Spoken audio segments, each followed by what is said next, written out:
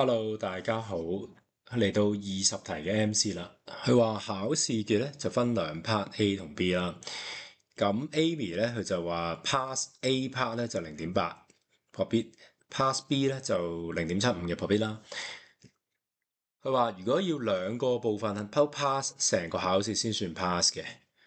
OK，given、咧就係話 Amy 係 fail 咗嘅，fail 咗，佢就問啦，fail both part 嘅破 bit。OK，咁又係 conditional 嘅問題啦。分母，我諗下佢 fail 嘅情況，fail 即係一減 pass 晒，因為你唯一一個可能性 pass 咧就係兩個同時 pass，咁一減 pass 就係 fail 啦。OK，分母就係 fail 嘅可能性，分子咧就係咩咧？